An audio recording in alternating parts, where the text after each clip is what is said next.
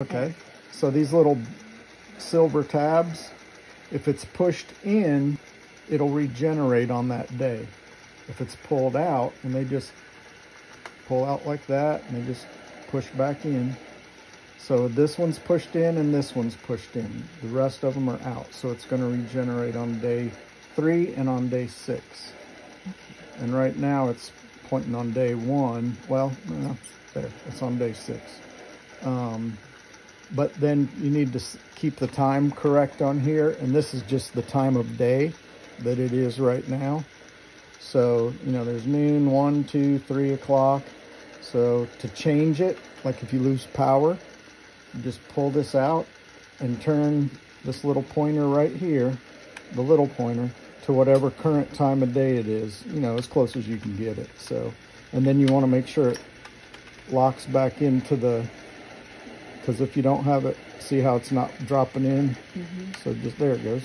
Just make sure it locks back in. We'll move it over one more tooth. So now it's reading about 2 o'clock p.m. So what happens is as this thing moves, just like a clock. So you come down here at 6 o'clock tonight, and that little pointer should be at 6 o'clock. 2 a.m., this arm is going to be over here, and it's going to push this. And if one of these is pushed in, it's going to kick it into a cycle. If it's not, then it'll just catch it the next day, flip it around till it hits one that's pushed in. Hmm. So, so this is moving too, but at this slower only, pace or no? no? this only moves okay. when this arm comes around and pushes it, as, as this arm's going oh, around. okay. Uh -huh. Yep.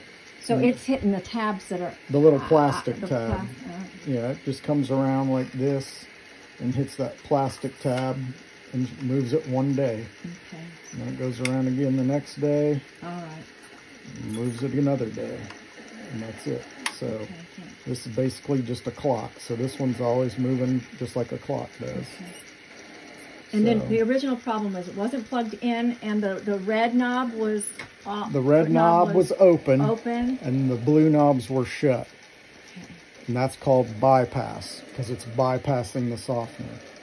When you want the softener to be softening the water, the blue ones need to be open and the red one needs to be shut like they are right now. So the water can't go this way because this one's shut. So it has to come down, go through the softener, and back out to the house with soft water. Okay.